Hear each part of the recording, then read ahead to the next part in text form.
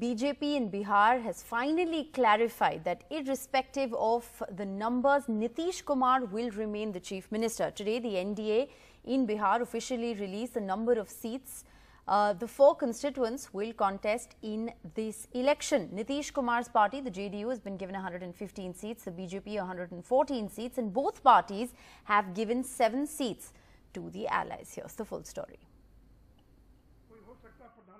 After all the confusion and speculation of the past few days, finally a show of togetherness and some clarifications. Bihar के अंदर NDA में वही रहेगा जो नीतीश जी को बिहार एनडीए का नेता स्वीकार करेगा कल सरकार निश्चित बनेगी तो मुख्यमंत्री भी नीतीश कुमार होंगे They also clarified that the JDU would fight on 122 seats and the BJP on 121.